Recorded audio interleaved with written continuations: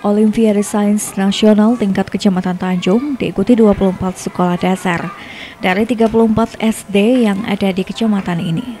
10 sekolah tidak mendaftarkan siswanya untuk mengikuti OSN tahun ini. Ketua Panitia Pelaksana OSN Kecamatan Tanjung Muhammad Amrullah mengakui hingga batas akhir waktu pendaftaran OSN hanya 24 sekolah yang mendaftarkan pada kompetisi ini. Masing-masing sekolah mengirimkan perwakilan satu atau dua orang siswanya untuk bersaing dalam Olimpiade Sains Matematika maupun IPA.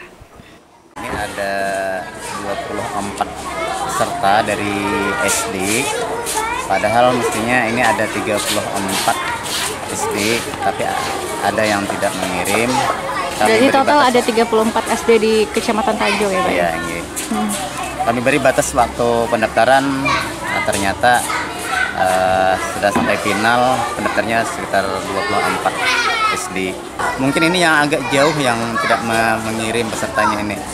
Nah itu, kalau yang dekat-dekat ini rata-rata uh, semuanya full mengirim.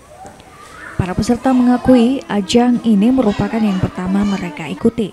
Peserta asal SD Negeri 1 Pemerangan Kiwa Norma Yanti mengaku sejak lama menyukai sains IPA sehingga tertarik mewakili sekolahnya pada OSN tahun ini. Sudah lawas ke 7 IPA atau baru-baru aja nih? Setahun tadi empat ini jual lah. Baru tahun ini ikut ini. Ini sudah sejak kapan nih Ading suka matematika? Sejak kelas 4. Kelas 4. Sebelumnya sudah pernah ikut ke sains matematikanya? Iya. Belum pernah, berarti ini pertama kali ikut.